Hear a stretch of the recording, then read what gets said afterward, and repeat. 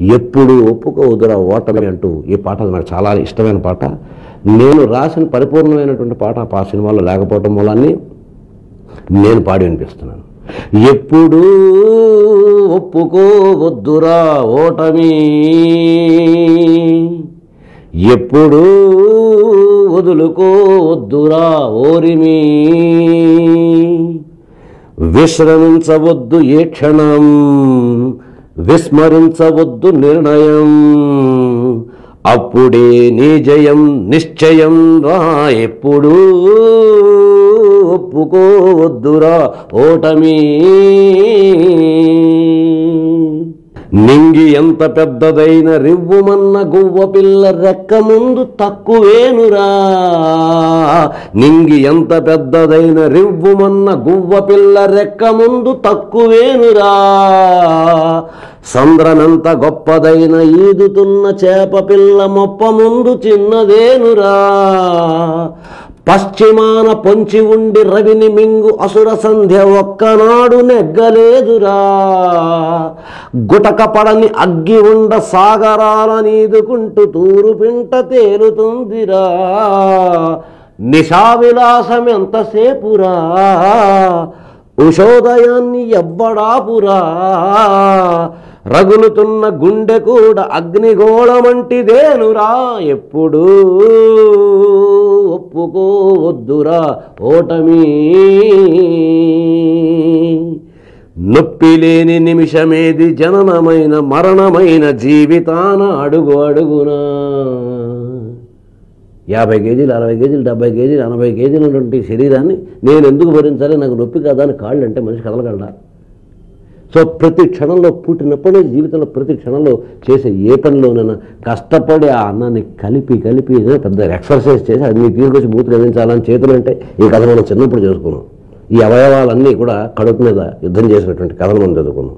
So నొప్పి లేకుండా అన్నీ అమిరిపోవాలంటే అమరగది కూడా. మనం ఊపిరి తీర్చుకో తీసుకోవటానికి కూడా ఒక ప్రయత్నం చేయాల్సిందే. నొప్పి లేని నిమిషమేది జననమైన మరణమైన జీవితాన అడుగు అడుగునా. నీరసించి నిలిచిపోతే నిమిషమైన నీది కాదు బ్రతుకు అంటే నిత్య ఘర్షణ. దేహముంది ప్రాణముంది నెత్తురుంది సత్తు ఉంది ఇంతకన్నా సైన్యం ఉండునా దేహముంది ప్రాణముంది నెత్తురుంది సత్తు ఉంది ఇంతకన్నా సైన్యం ఉండునా ఆశ నీకు అస్త్రమౌను శ్వాస నీకు శస్త్రమౌను ఆశయము సారథౌనురా నిరంతరం ప్రయత్నమున్నదా నిరాశకే నిరాశ పుట్టదా. మన కర్తవ్యం నిరాశ పడ్డం కాదు నిరాశ నిరాశ పెట్టడం నిరాశకే నిరాశ పుట్టదా. ఆయువంటూ ఉన్న వరకు చావు కూడా నెగ్గలేక శవముపైని గెలుపు చాటురా. నిజానికి ఫలానా వాడు చచ్చిపోయాడని క్లెయిమ్ చేసేవాడు ఉంటాడు కానీ నేను చచ్చిపోయానని ఎవడు క్లెయిమ్ చేయలేడు. మనం పుట్టామని ఒకటి చెబితే విన్నాం.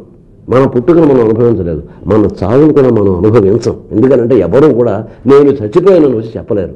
ఇతరులకు జరిగిన దాన్ని చూసి చావును గురించి ఒక కల్పించుకున్నటువంటి ఒక భ్రమ ఉన్నది జీవితమే.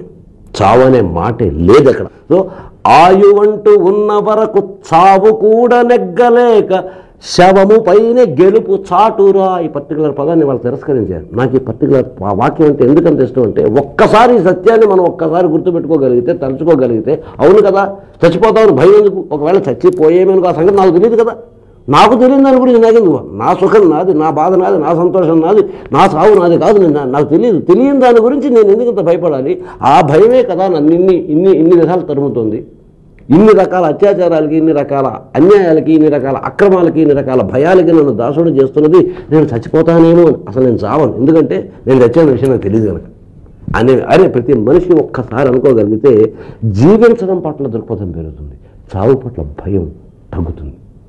ఆ చావు ముగింపు గురించి ఆలోచించడం కాకుండా కొనసాగటం అనే దాని మీద మన దృష్టి కేంద్రీకరించబడటానికి ఈ పర్టికులర్ వాక్యం అంటే నాకు చాలా ఇష్టం. ఆయు అంటూ ఉన్న వరకు చావు కూడా నెగ్గలేక శవము పైన గెలుపు చాటురా. ఎప్పుడు ఒప్పుకోవద్దురా ఓటమి.